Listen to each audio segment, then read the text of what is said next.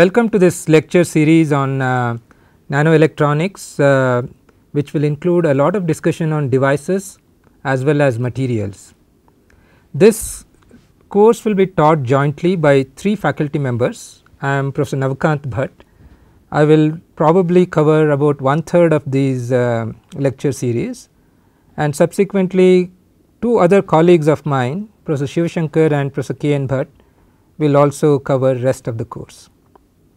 We are from Center for Nanoscience and Engineering which is a brand new department at the Indian Institute of Science Bangalore and uh, you can go to this website uh, which gives uh, a lot more details about uh, the center and uh, the capabilities of the center and the vision of the center and uh, so on and so forth. And the building that you see out here is the new building which is home to the Center for Nanoscience and Engineering. It houses a state of the art nanofabrication facility uh, and uh, also a very extensive nano characterization facility. Okay, so let us get uh, started uh, with the course. Uh, just a couple of logistics first. Uh, some of the there is no textbook really for this course. however, there are quite a few reference books. Um, some of those are listed here uh, and uh, you know these consist of uh, two things uh, two broad areas uh, that is uh, devices as I mentioned. You know you can go through following series of books depending on which topics that you are interested in. Fundamentals of modern VLSI devices by Yuan Taur and Ning Cambridge University Press solid state electron devices uh, by Streetman and Banerjee uh, which is a very classic uh, textbook on semiconductor devices especially for the basics of devices. Fundamentals of electron devices uh, which is written by uh, and Bhat, K. N. Bhat who is also uh, you know a co-instructor on this course that we have. Uh, then also there is uh, one uh, very important book uh, on uh, MOS technology which is metal oxide semiconductor physics and technology by Nicollian and Brews which is also considered as the bible for MOS technology. And then you know there is the other set of books on process technologies and materials okay uh, which include uh, silicon VLSI technology by Plummer, Deal and Griffin, ULSI technology edited by S. M. Sze, McGraw-Hill publication and also a very extensive uh, you know uh, topics on material characterization covered in uh, encyclopedia of uh, material characterization published by Elsevier right. So, as I mentioned in addition to these reference book books that I have listed during the course uh, uh, we will also point to uh, certain um, publications which have appeared in the recent conferences and journals that are also very relevant to understand the material that we are going to cover in this course.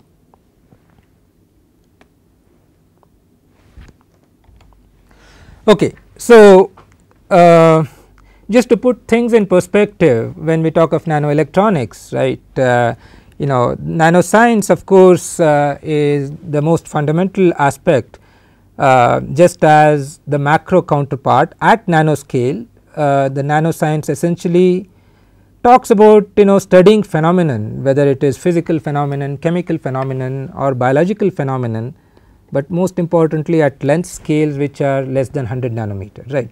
That is what we broadly classify as nanoscience. Now, when we talk of nanotechnology what we are saying again just analogous to the macro counterpart based on the understanding that we gather uh, after studying nanoscience we would like to make use of that understanding and create useful products right that is what technology is all about.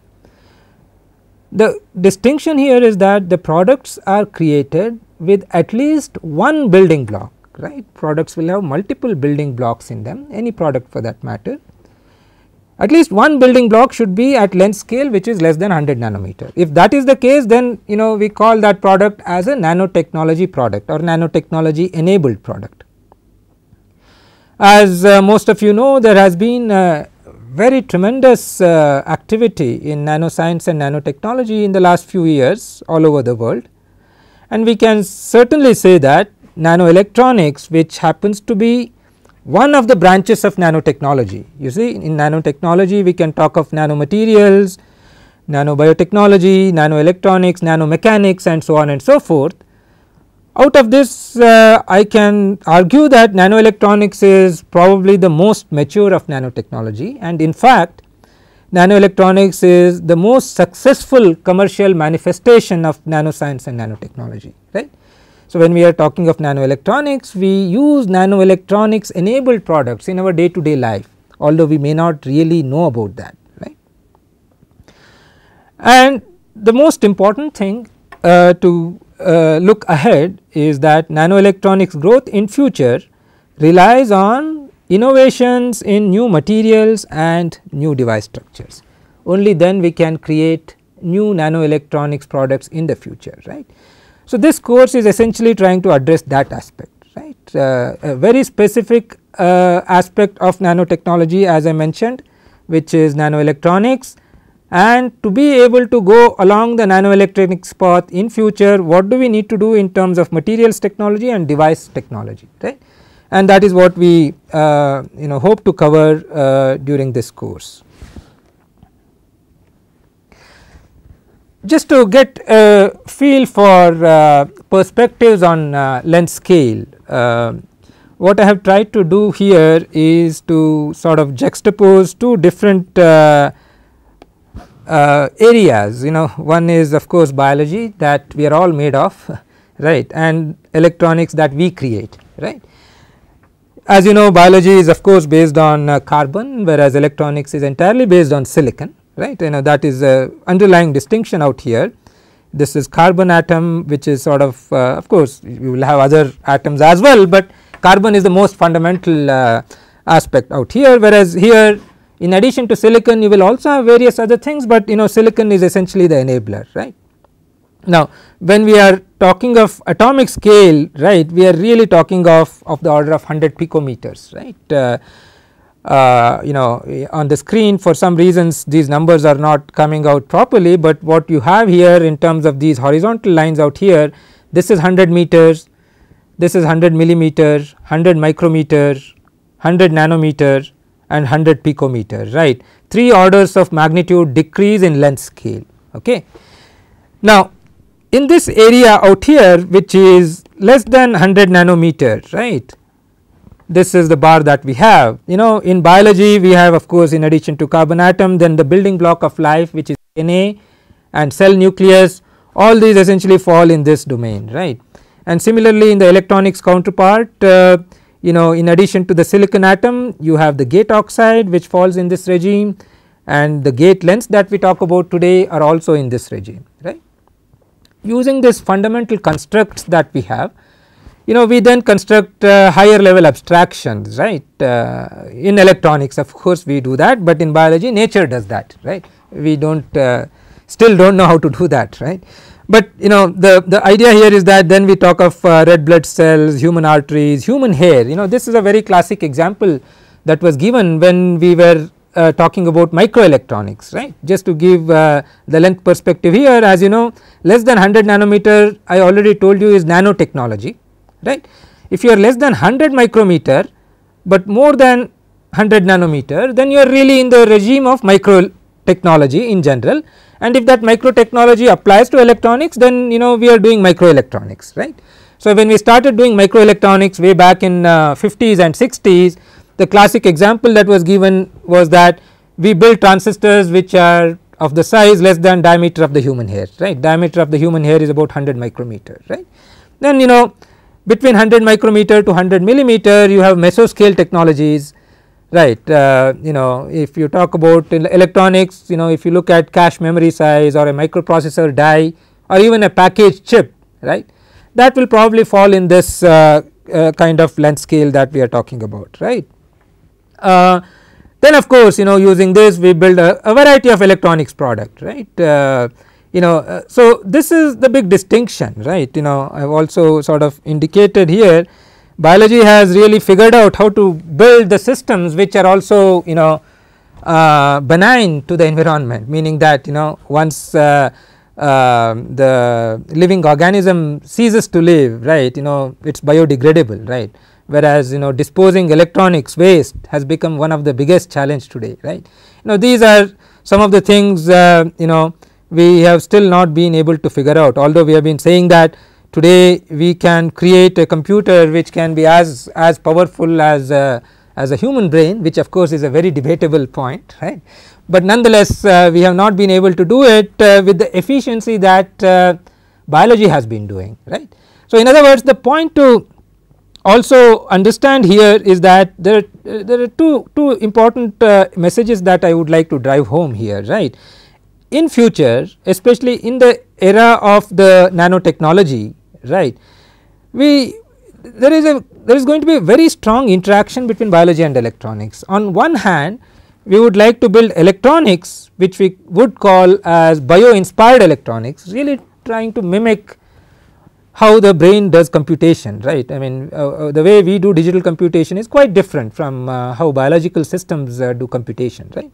So that is one aspect right related to that aspect is also the the point of uh, you know self healing architectures you know redundancy in uh, electronics and so on and so forth which is to sort of learn from biology right. On the other hand I think one of the most important you know application area for electronics is really to apply electronics in biology in the next uh, couple of decades right.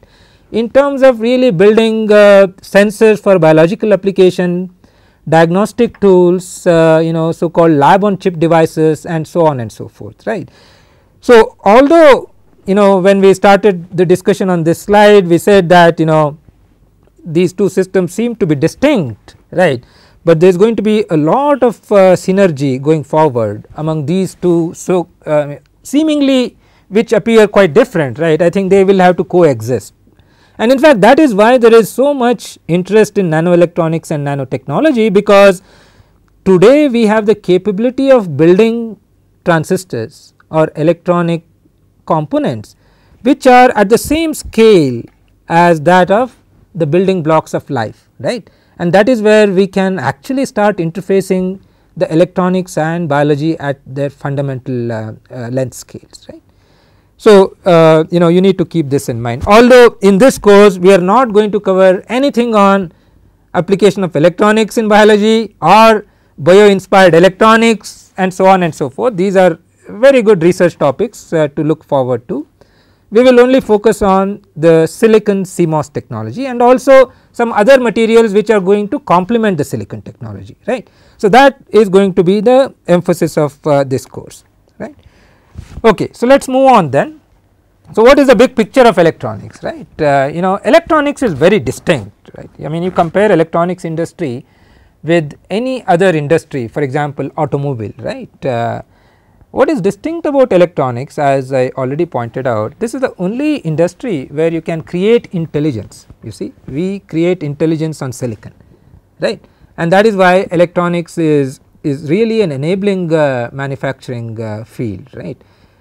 In fact it is predicted that if you look at a high end automobile today most of the cost I would say easily more than 50 percent of the cost is really in electronics because it is this electronics which brings intelligence to automobile right. I mean same is true with any other industrial segment. In other words electronics industry has a far reaching impact on various other industrial segments that we have right.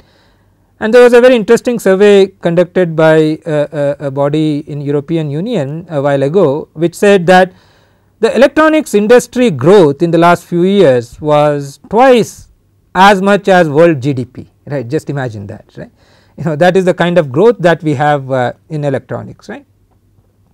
So, how is it enabled? The big picture of electronics is that we construct these chips which will do either uh, you know computation as is indicated here or storage right you know any field that you would like to look at there is lot of information that you gather. So, you need to store information and you need to process information right. The electronic chips enable us to do that.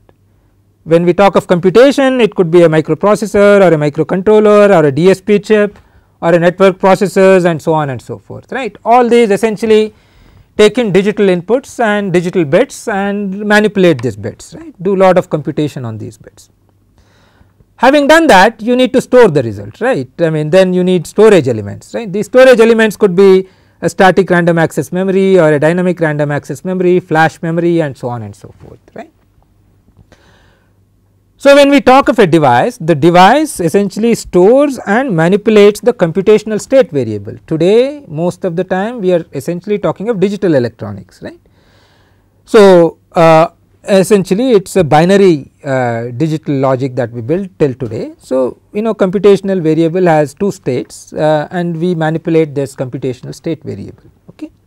Computational state variable can take one of several forms, but today it essentially takes the form of voltage which comes about because we store charge on the circuit nodes that we have in CMOS circuits right. And uh, you know this is how we build electronics right. So, any electronics chip that you have no matter what chip it is fundamentally it either does computation or it does storage. Okay.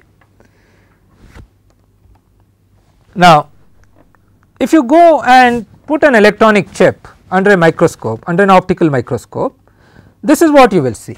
Okay uh, you will see a regular patterns on an electron I mean on optical microscope okay as is indicated here if it is a chip in this example I have taken Intel Pentium chip you will have you may not know that unless you are a designer, but the one person who has designed it would know that okay there is a data cache here you know there is a floating point unit here and so on and so forth right. So, this is what you will see when you look at the plan view or a top view.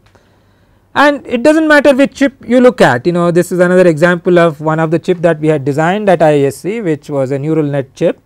Again you see some regular arrangement of some building blocks right and in other words integrated circuit chip is really silicon floor planning just as when you build a house you do floor planning right uh, to begin with right Similarly, you need to decide how many blocks should be there on your silicon chip, where should the blocks be placed and so on and so forth. This is a task that is done by a chip designer. As far as the subject matter of this course is concerned, we are not going to talk about chip design. Okay. Instead, what we will do is really to ask the question what is inside the chip. Okay. I mean you got that die, die is essentially a piece of silicon on which you have made the chip right you have put it under an optical microscope, but if you take a cross section now you cut this silicon piece and take a side view what will you see right. What you will see is essentially a very large ensemble of transistors which are connected appropriately right? This is the key. Depending on how you connect them how you interconnect them you get a particular function right? You may get a memory function you may get a microprocessor function and so on and so forth right? And in order to do that you will also have large number of metal interconnection lines okay. So when you do the cross section at the very top right uh, you probably will see a multi level metal interconnects today's state of the art chip can easily have more than 10 layers of metal lines right. For example, this is the top metal line and underneath there will be you know another metal line and so on and so forth and eventually you will reach silicon on silicon you have a transistor and this is what is your transistor right and today we are only talking about MOS transistor. When we talk of CMOS it is complementary metal oxide semiconductor transistor. If you look at any electronics today more than 90 percent of the electronics that is built today is based on CMOS technology a very very small fraction okay maybe less than 5 percent is by bipolar junction technology either on silicon or MESFETs on gallium arsenide and so on and so forth right. So, majority of the silicon electronics that you see is CMOS and hence the entire focus of this course is going to be on CMOS okay. And this is what you will see at the very bottom on silicon right you will have constructed a silicon MOS transistor which will have you know a source terminal inside silicon, a drain terminal inside silicon and a gate oxide we will see a blown up version little later and a gate electrode right it is essentially a 3 terminal device. Well strictly speaking it is a 4 terminal device there is also a body terminal but we will ignore that for the time being right. So today's modern chip will have close to billion such transistors on a very small silicon area. Silicon area could be 1 centimeter by 1 centimeter.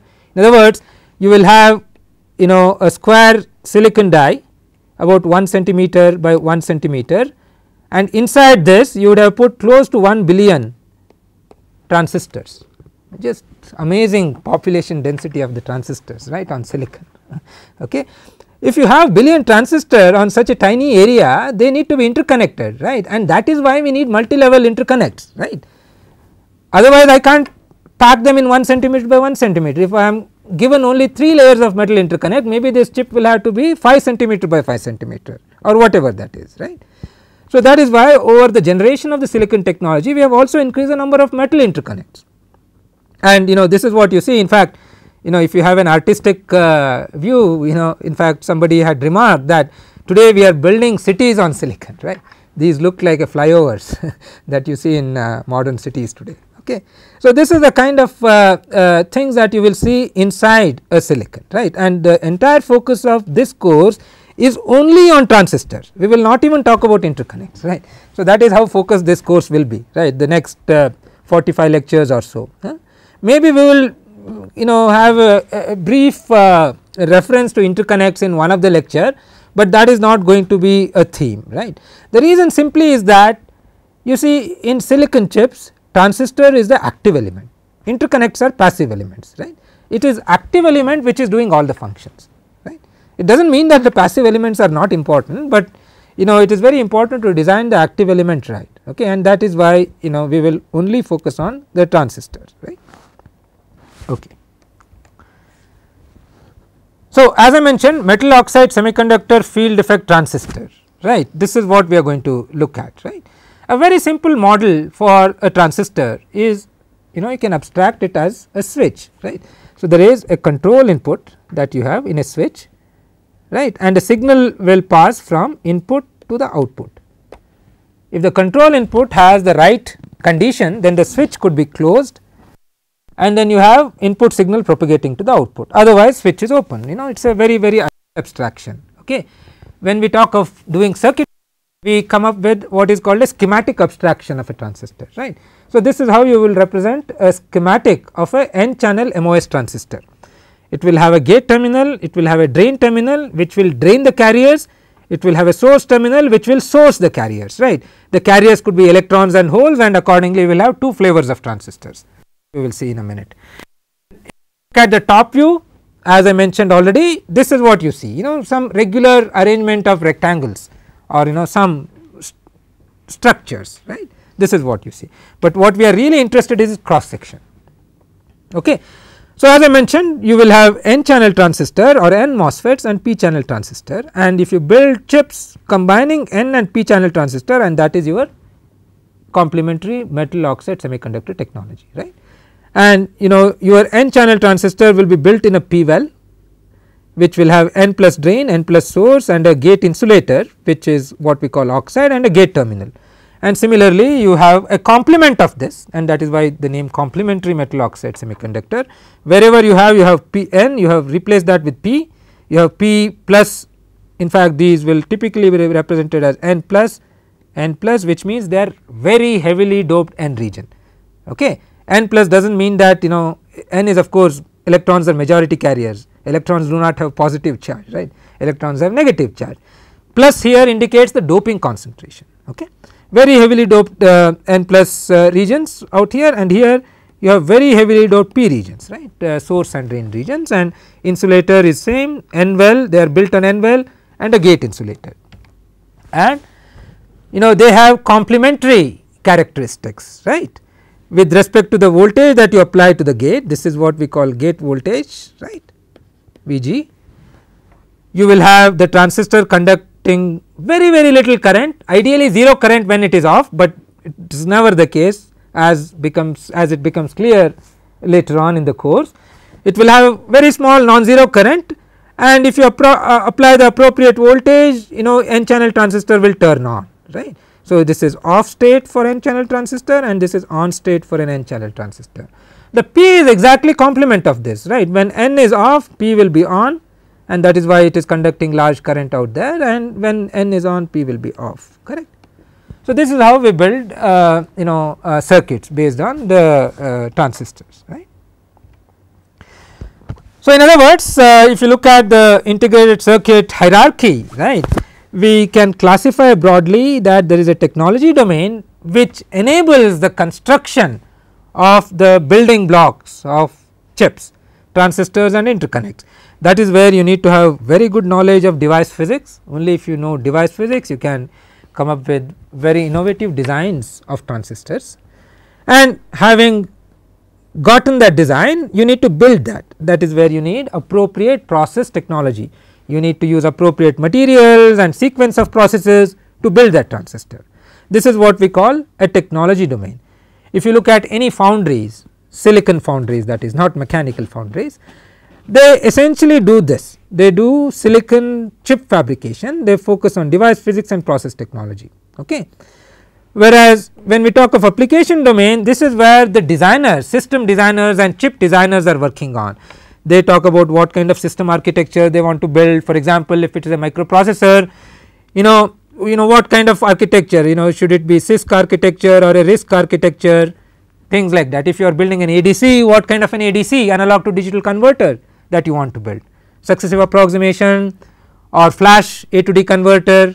So, this kind of system architecting happens here. And once you do the system architecting you do circuit design right at the fundamental building block which is transistor you need to architect the circuit design the circuit and do the layout. Only when you do the layout you complete your design then pass the design on to the foundry. Then the foundry can take the design run it through all the processes and build your chip right. So, this is really an extremely interdisciplinary area. You see you need lot of understanding of uh, materials chemistry out here good understanding of physics, good understanding of circuits, computer science or whatever that application domain is and of course, mathematics to develop models, computer aided design is key here right. We do lot of CAD both in the technology domain as well as uh, you know circuit uh, uh, domain right. So, today as I mentioned our process technology is based on silicon, our devices are CMOS complementary metal oxide semiconductor and our computational variable as I said charge and hence we are not going to talk anything about for example using spin as a logic variable right? So called the area of spintronics right? That is not at all going to be discussed in this course right? And of course we build circuits today based on boolean logic digital architecture. This is where the point I mentioned earlier that bio inspired circuit could be quite different from you know digital architecture and boolean logic right uh, but again we will not really discuss uh, too much about that. We need to really do optimization across all these domains only then we can get a very high performance integrated circuit right that is the key otherwise we will not be able to uh, do that. Any discussion on uh, you know scaling and nanoelectronics is incomplete in my opinion without reference to Moore's law okay. You might have heard about this Moore's law, but let me just walk you through that. Gordon Moore uh, published a paper way back in 1975 1965 I am sorry this was also published in a trade journal called electronics okay. The paper was titled cramming more components onto integrated circuit that was the title of the paper.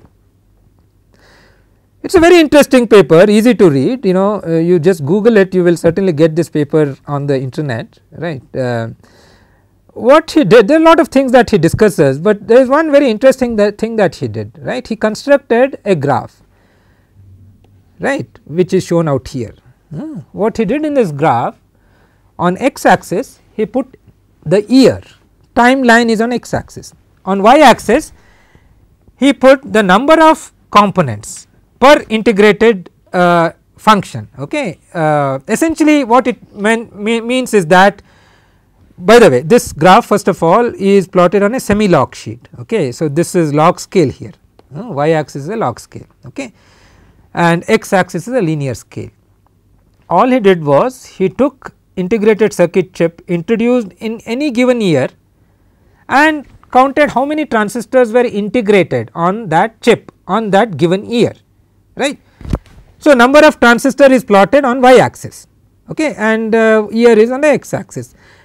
And he did not have too many data points you see. The first integrated circuit was invented way back in 1958 if you may recall. The first IC was invented by Jack Kilby at Texas Instruments. That was in 1958 right. The first semiconductor transistor itself was way back in 1947 right which was a bipolar junction transistor not a MOS transistor although in this course we only talk about MOS transistor that is an irony right. The first semiconductor transistor was indeed bipolar junction transistor although you know the scientists at Bell Labs were really trying to make a MOS transistor but making an MOS transistor was so difficult they ended up doing a bipolar junction transistor right. But that apart the data points are only from 1958 till the year 1965 when he wrote this particular paper right. So, you know he has about 5 data points here he noticed that it fits a straight line right in other words because it is a semi log sheet it indicated that the number of transistors that were put on the chips were increasing exponentially over the time. In particular at least during that period the number of components or transistor was doubling every year okay. But the lot of credit is given to Moore because of this dotted line that he has in this paper you see.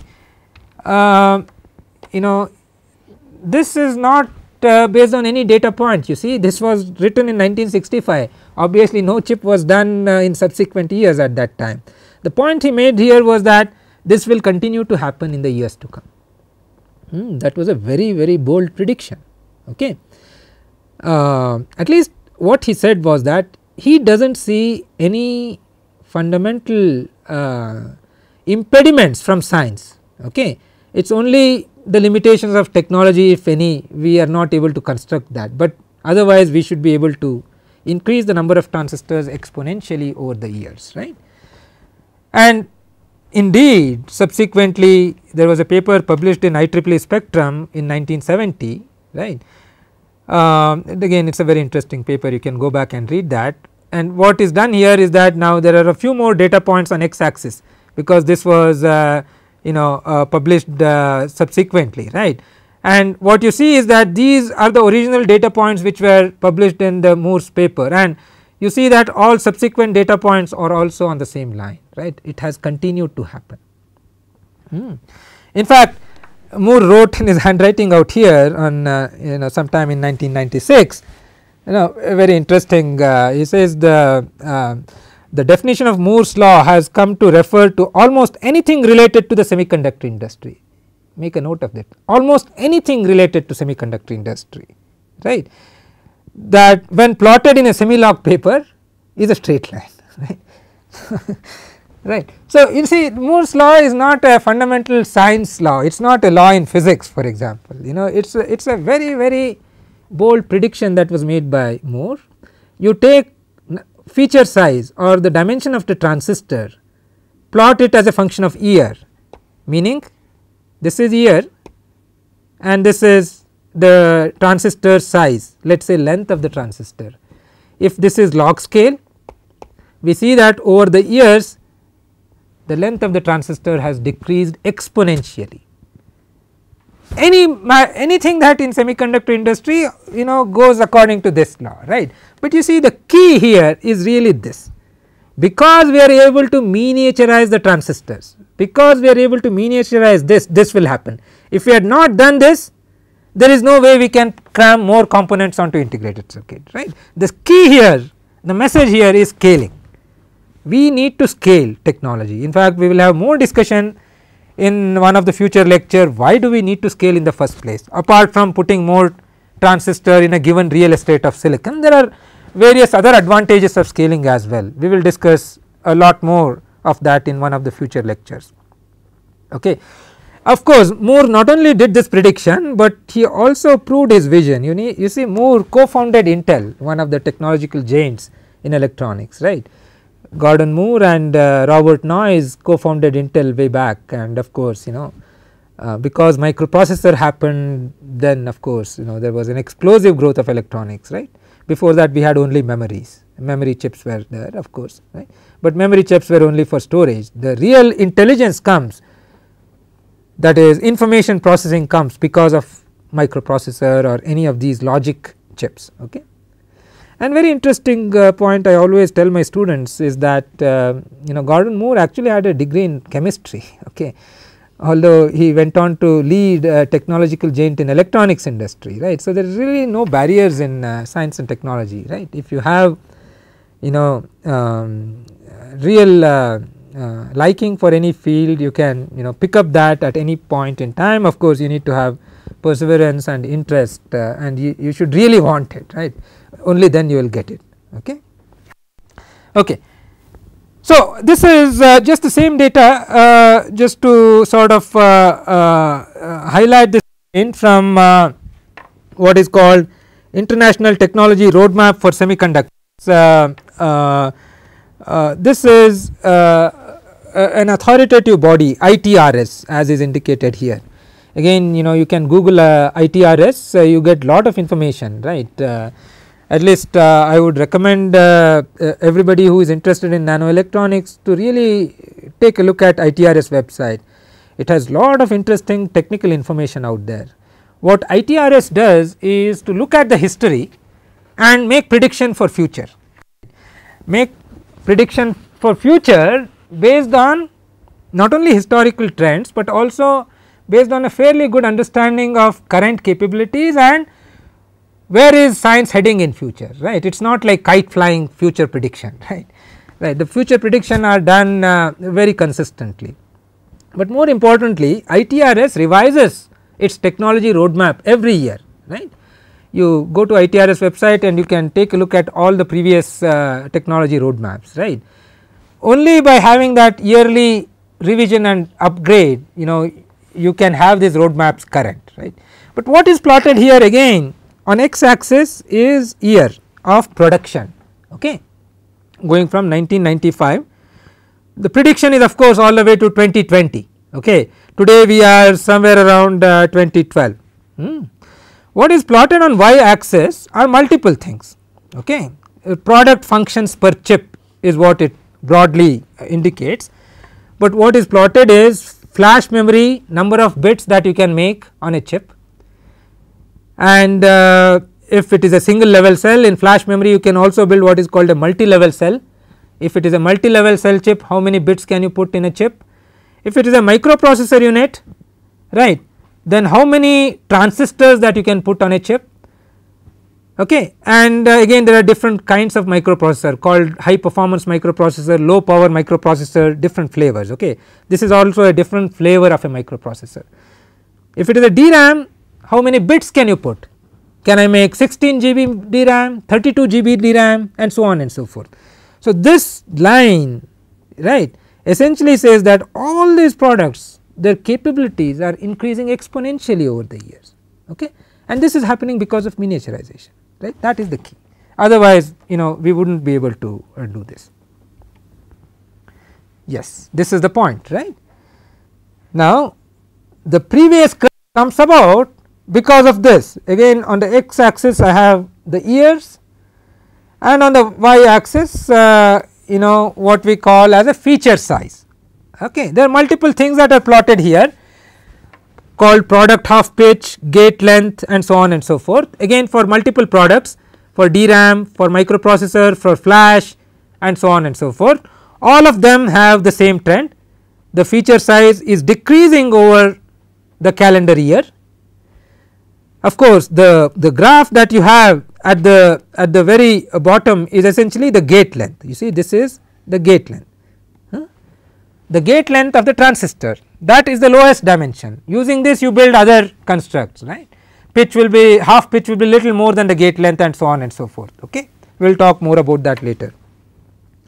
Now this point here is an important point I want you to look at and in fact that is where it says nanotechnology era begins in electronics. When did it begin? It began in 1999 not today okay. It began in 1999 which is almost 13 years ago today we are talking of 2012 right although you know there was not much fanfare right because electronics for, for electronics it was just an evolution you know you are doing little more than 100 nanometer you cross that 100 nanometer barrier right. So, what is the big deal kind of right. So, uh, there was not much uh, fanfare about uh, saying oh we have a technology product right, but the fact that now we have so much hype on nanotechnology it is not just hype. You see we have been using nanotechnology product at least electronics.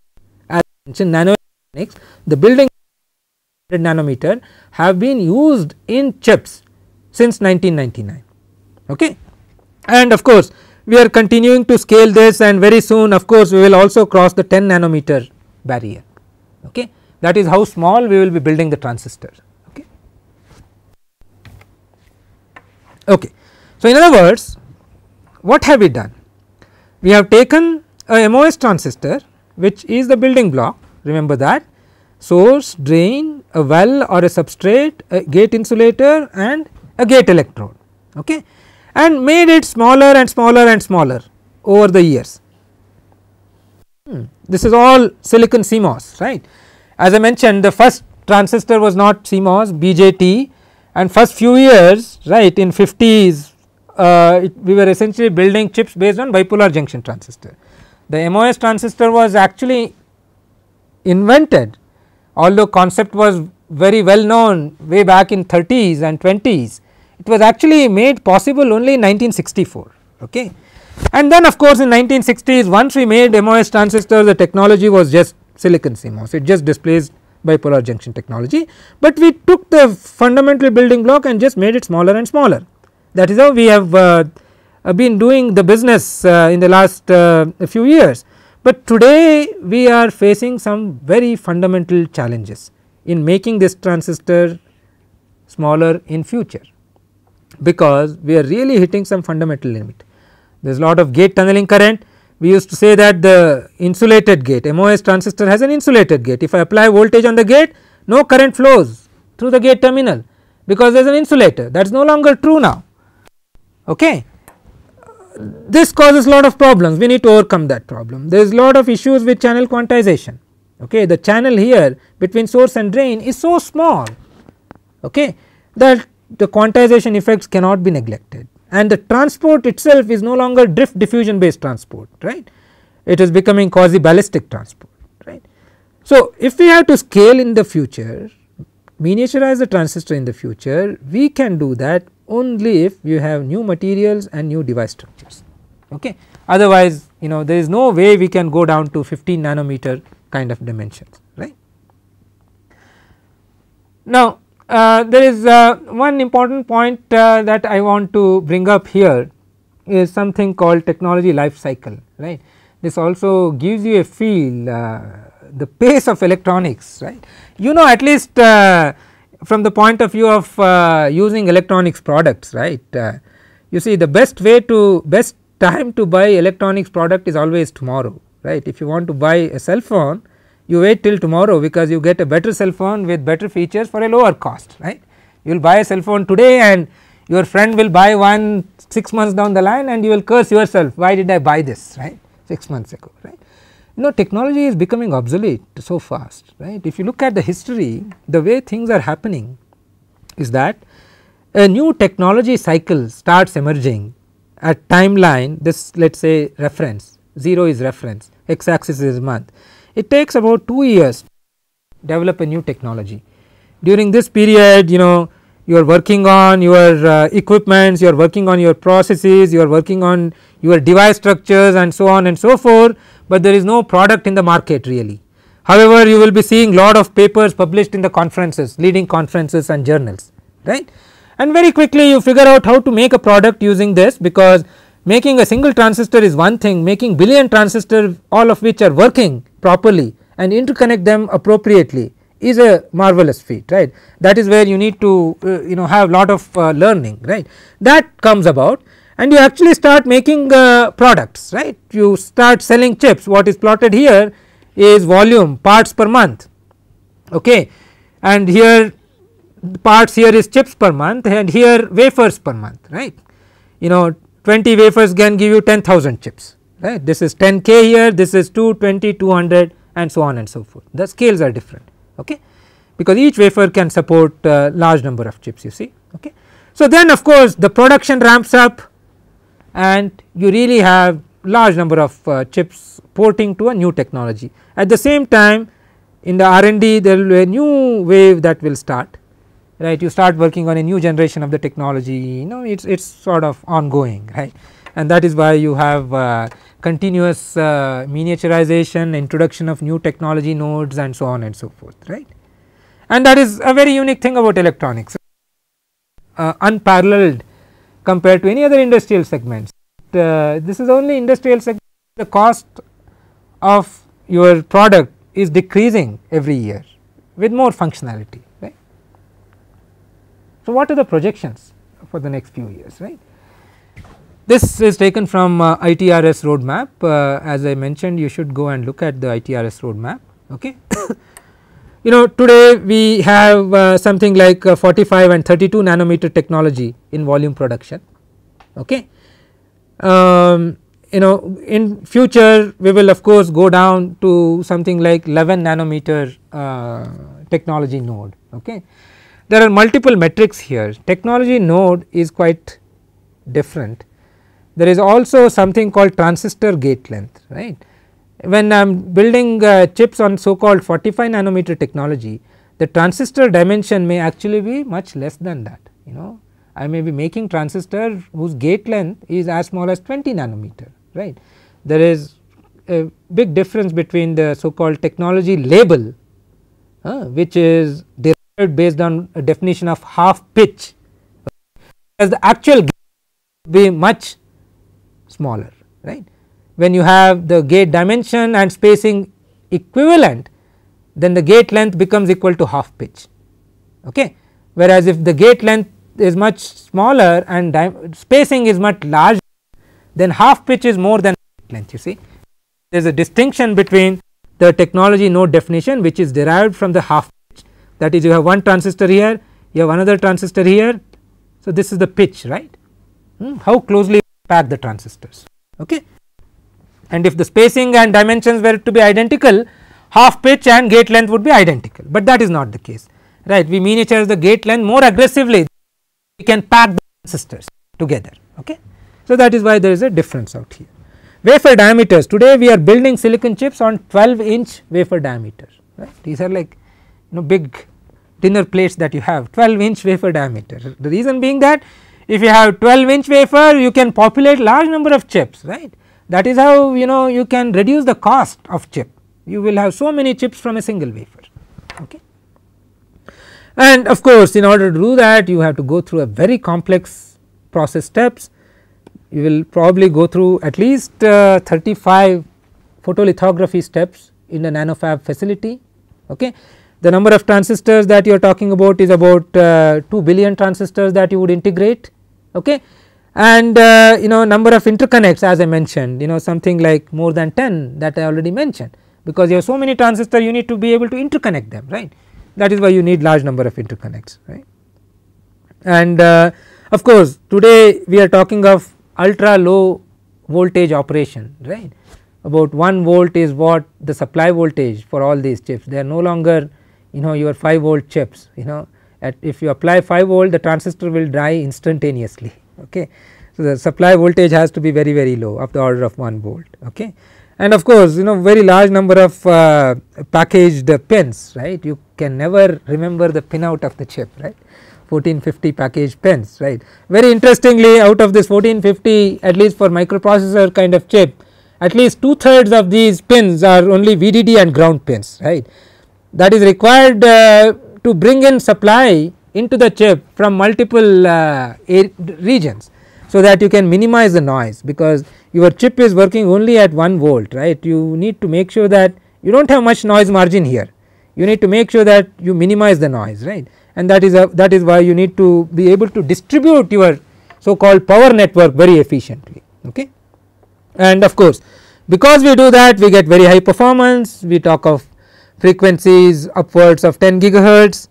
And of course uh, we also consume very large power today you know. State of the art microprocessor is consuming more than 100 watt. This is also becoming a serious issue. It is as if you have a 100 watt light bulb sitting in your uh, CPU box right? You know that is the kind of uh, power dissipation that we have in these chips.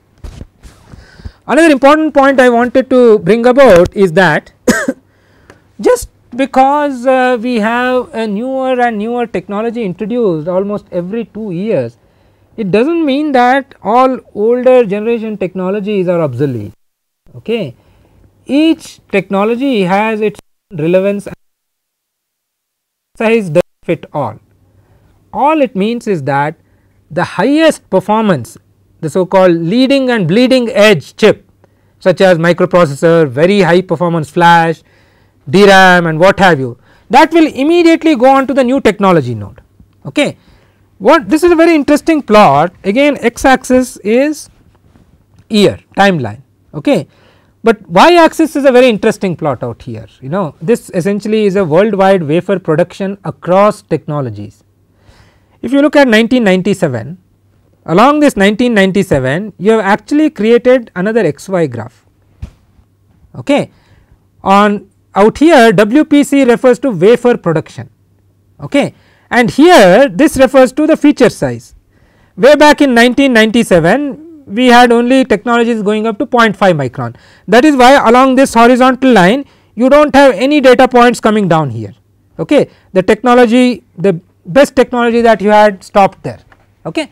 You had lot of products out here but at that time 1 micron technology which was state of the art maybe in 1990 continued to stay there for niche application okay. So there was wafer production to make 1 micron chips as well and as you go along the years you see along this line there are new rectangles that are being added you see right. All that means is that today you know if I look at 2007 it is not today of course 5 years ago you see in addition to this there are new rectangles added which corresponds to different generations of the technology right going all the way to 90 nanometer technology back then. If I construct this plot today it will go all the way down to 45 nanometer. But the point to note here is that of course the highest performance chip will immediately go to the latest current technology. But even then you still have worldwide wafer production happening on 0.5 micron technology, 0.7, 1 micron and so on and so forth. Just to give an example if you want to make a very high power chip okay you want to drive several watts uh, you know into you know your audio amplifier or what have you right? Then I can't uh, do that with 1 volt right? I need to maybe use uh, 5 volt or 10 volt.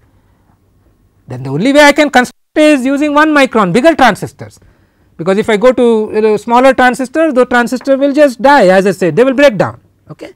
So, each technology has its relevance, but the point is that the leading edge technology will occupy most of the business because most of the business really comes from the very high end chips like microprocessors and uh, you know very high capacity memories and so on and so forth. In addition to this there is something interesting happening for last few years uh, and that is uh, something called uh, building sensors on uh, silicon okay so called CMOS sensors. Uh, pr presumably these will become next technology drivers okay. In other words if you see last few decades in every decade there was a technology driver right? Way back uh, you know in 1970s until microprocessor happened we had only memory chips okay? Then of course you had microprocessor chips. The microprocessor was invented. And 1990s was really internet era right? Internet was invented and you had lot of new chips the so called network chips, chips which enable networking came about. It does not mean that we did not fabricate processor, we did not fabricate memory, we continue to do that, but there is a new vector that has emerged. Okay. In the last decade you know it is really an explosion of handheld devices right and accordingly we had large number of chips which enabled uh, you know your cell phone, PDAs, digital cameras and so on and so forth. I think next couple of decades really is going to be you know in terms of systems we will really be building so called wireless sensor network based system right or so called ambient intelligence right. We need to be able to have very low cost sensors spread all around which will uh, collect lot of information in real time and uh, you know make sense out of it right. In order to do that we should really enable a large number of sensor chips right. So, this is also something that is happening although in this course we will not really talk about sensor right, but when we talk of nano electronics this is also a very very important uh, aspect. In other words we talk of what is called more Moore and more than Moore. What we mean by more Moore is essentially this is conventional electronics we are building computational units such as CPU, logic and storage units such as memories right all that we are doing is miniaturization okay and this is what is happening as per the Moore's law we are miniaturizing scaling and so on and so forth. More than Moore is essentially along with electronics trying to embed something different right. To begin with along with digital you may say I want to embed analog and RF functions then I want to embed passive such as inductors capacitors on the same chip. Then also I want to embed high voltage high power transistors on the same chip which has low voltage low power transistors. Then taking it further sensors and actuators and biochips and so on and so forth right. This is the vector that we will not really talk about. Uh, okay. So, we will restrict ourselves only to what we call traditional scaling right. What I call traditional scaling is essentially shrinking feature size.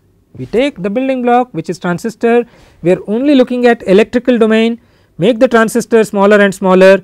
The technology drivers have been memory and logic, the technology drivers will continue to be memory and logic along the traditional scaling path. The materials and devices are silicon and its derivative, classical CMOS is what we had Going forward silicon will coexist with a variety of materials that will be the focus of this course. We will talk quite a bit not only on silicon, on germanium, on compound semiconductors and so on and so forth right. In addition to that device architecture not only CMOS we will also talk about non classical CMOS okay? That will also form a significant uh, chunk of uh, the course uh, that we have okay. Whereas this equivalent scaling path is really staying at the same dimension not necessarily miniaturizing, but doing functional integration. Add more functions to the chip not just compute and storage, but add you know sensing and actuation this is what we call hybrid systems on chip or SOCs.